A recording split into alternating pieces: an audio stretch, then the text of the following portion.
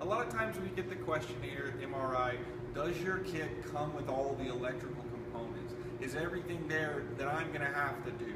So I'm gonna go ahead and address that today. We've got the kits laid out from some earlier video segments that we've done, and I'm gonna go ahead and have Rach pan down, and we're gonna go ahead and look at the harness that we send out along with the fuses, I'm gonna touch base on uh, touch base on both of these. So ultimately, we send you with every kit one of these pre-made MRI harnesses. It comes with an inline fuse holder, which is what this piece is.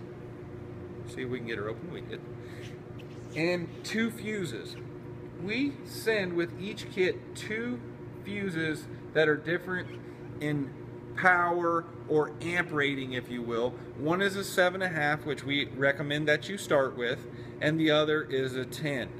The reason that we send two is because with this product, there is a bit of a learning curve in the sense of sometimes an application you may think that you have your bike up and it's not, and you're trying to raise your legs, or you may, uh, in the other instance, um, be trying to raise your lower your legs down and the bike may not be up and you may be hitting the ground. So we designed the kits to use these smaller fuses. The motors themselves are very strong and can handle a lot of power, but we send these so that way if the leg is coming down, let's just set this down here, if your leg is coming down with its steel foot. I've still got these out from earlier. And you come down, let's say this is all attached, and the ground is here, and your bike is not up, and it starts to dig into the ground here because the bike is not lifted up, right? Instead of damaging the unit, you will blow the fuse. That's why we give you two. We recommend, set this down, we recommend that you start with the seven and a half because you can learn your lesson faster that way if you will. Secondly, the 10 is the one that you should always be using. If you're great with a 7.5, then use it. But we recommend the 10 is fine for all other applications. So again, I want to touch base on the two fuses and its ratings. To go back to answering the questions, I'm going to just step out a few here just a second. I'm going to grab a, uh, one of the units we've already set up, and I'm going to refer to the wiring that comes on it.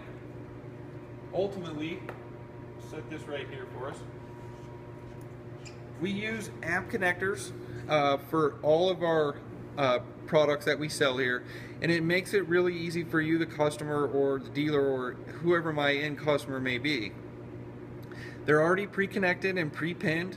You'll notice that you've got one red wire that has the fuse on it and that's going to go to the positive side of your battery you're going to notice that you have a black wire that also has a ring terminal and this is going to go to any common ground.